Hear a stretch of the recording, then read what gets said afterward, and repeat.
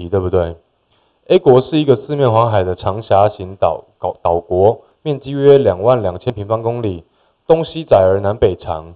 好，然后呢，A 国之南北岸皆为岩石地形，无沙岸。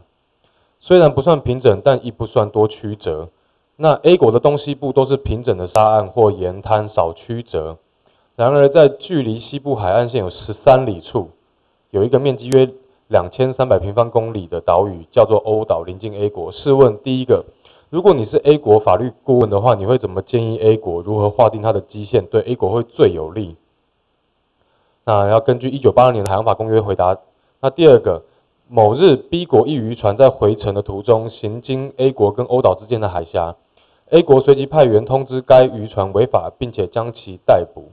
其理由为 A 国跟欧岛之间的海域已经成为 A 国的内水，故该渔船未经 A 国同意，不得驶入 A 国之内水。那如果你是法律顾问的话，你会怎么样回答 A 国？那这一题要怎么解呢？其实解题目不难。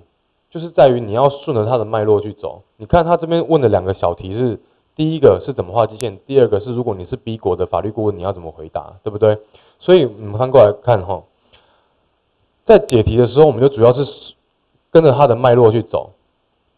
好，所以我们第一题、第二题就是照着它的那个子题来去区分，来去区分。所以第一题我们可以看到，就直接以你是 A 国法律顾问的方式来去。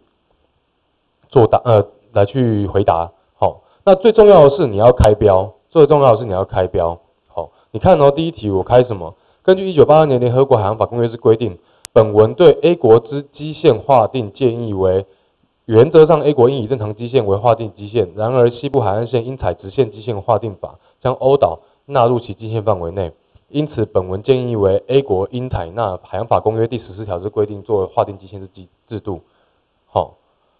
开标题在写题目的地方非常非常重要，我不知道你们以前有没有学过，可是，在开标题的时候，你们一定要就一先给改题老师一个结论，这个标题就会是你的结论。好，你一定要在审完题之后，就对那个题目答案有一定的结论，在开标的时候，你第一句话就要写结论。所以你看到第一小题的时候，我就直接下结论说，原则上应该以正常基线，可是西部海岸应该采直线基线。然后下面再开始论述你的理由，理由一，理由二。好，那再看第二题，第二小题，B 国不小心驶入了我们的内水，驶入 A 国的内水。那 B 国，如果你今天是法 B 国的法律顾问的话，你要怎么回答呢？好，你看哦，我我开什么标？无人将提出我 B 我我 B 国渔船于该海峡内可行使无害通过权，就这样子，就一句话，这句话就是第二的呃第二小题的开标。好。所以在解题的时候，第一个是你要很重你的架构，第二个是你一定要把你的标题给下好。所以说在审题的过程中，在审完题目的时候，你就一定要先把题目的架构先画出来。像这一题就是一、二，然后第一小题再分第一个理由跟第二个理由。那第二个小题因为没有理由的关系，所以就是直接写一段。好，你们一定要懂得分点分项。这个你们应该原本就知道，对不对？可是你说大家都知道分等分项，那为什么每个人的考卷出来还是分数会有高有低的差别呢？因为开标不同。好，你当你学完了一系列的体系，你当你学完了所有知识之后，你要怎么把你的知识有架构、同整的整理出来？这是一个技巧，这个你们一定要练习写题目。我以前其实也是不太会写题目的人，我后来怎么去学习写题目？是因为我去参加行政法读书会。因为我觉得行政法其实跟呃民法或刑法比较不一样，是行政法其实它的阶层很明显，然后它的适用法条也非常非常明显，所以你在我我那个时候在参加读书会的时候，就看同学们之间怎么写，我就开始去呃模仿，好来去学习，模仿之后呢，我发现那一套其实可以适用在所有的法律系科目上面，好，不管你是名词解释，名词解释比较难呐，可是主要是用在实例题，好。实例题你一定要第一句话开标就把你的结论写出来，你不能够举例来说好了，第一小题我们明明就是要画十四条，根据十四条来画直线基线，对不对？可是你不能够一开始就说根据十四条，我们决定要来这边画基线呢，然后再开始写说，诶地形怎么样怎么样怎么样，所以应该要怎么样画基线？因为欧岛跟 A 国，欧岛跟 A 岛之间。距离在十三海里以内，所以可以画直线基线。你不能够一开始就把这个理由写在第一段。如果你把理由写在第一段的话，你的题目就不漂亮。一个漂亮的题目是你一定要先开标，开标就要放你的结论，结论下面再分一点写你的理由，跟二点你的理由，第三你的理由。好，理由最多不要超过三个，理由最多不要超过三个。你要这样去写，写完之后呢，再去做个结论，再去做个小结。漂亮的题目有架构的解答，应该是要这样写的。好，好，那我们来看一下第一题，往回翻，先从入门的开始。我刚这样讲会太快吗？解题目的技巧，等下带着你们写，应该就会知道了吼。好，我们看第一题，是说明国际海洋法有关领海基线画法的规定。并依此规定评论中华民国与中华人民共和国有关领海基线画法的法律规定跟国家实践。那我们复习一下，你们还记不记得基线的画法有哪三种？一个是正常基线，一个是直线基线，一个是混合两种的混合基线嘛。所以第一小题的答案就是这样子而已。第一小题答案就这样子而已。然后呢，第二小题会知道问什么？好，评论中华民国跟中华人民共和国。有关领海基线划法跟国家实践的规定，所以你就可以再拆出一个子标题，写中华民国的领海怎么划分，的基线怎么划分，然后第三个小题去写中华人民共和国的基线怎么去划分。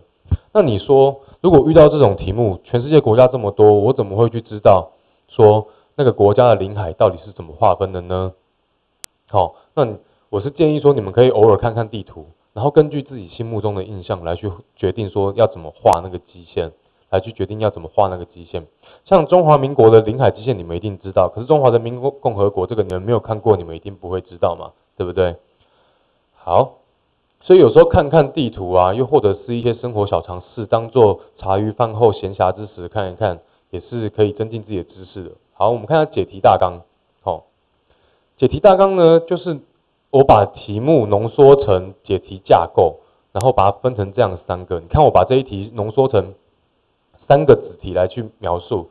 第一个，第一个小题是海洋法之下的基线的定义跟分类，所以再往下就是会写正常基线、直线基线跟混合基线。然后第二个小题呢，我写什么呢？我国法律的基线跟实践。所以我再往下开一个小标题是我国领海跟临街区的画法。那第二个小题是我国直线基线的实践，那第三部分呢，我就去写中华人民共和国的法律跟基线的实践。然后首先第一个标题我也是开法律的规定，就是中华人民共和国的领海及毗连区法。然后第二个部分是去写实践，你们一定要这样去拆解它，这样你们写出来的题目才会漂亮。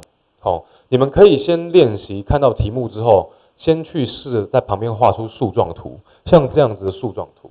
好，你们一定要在选题的时候旁边先画出树状图，然后呢，你才进一步的知道说你的题目要怎么去写才会漂亮。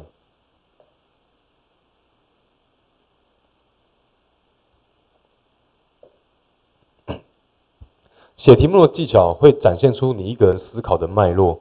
那基本上法律法律人的思考脉络就会是这样子而已，一定是要层层架构这样下来。好。你看完一个题干之后，你就要去拆解出来说他希望你回答什么东西，你就要把它透过树状图的方式把它展现出来，这是你自己心里要有的。例如说，刚刚像这一题好了，问你海洋法公约的基线制度，第一个就是基线制度嘛，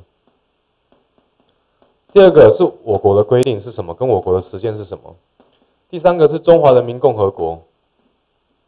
的规定是什么？跟他们的实践是什么？所以基线再往下制度往下拆的话，可以拆成哪三个？正常基线、直线基线跟混合基线，对不对？然后我国呢，我这边把它拆成一个是法律规定，然后另外一个是实践。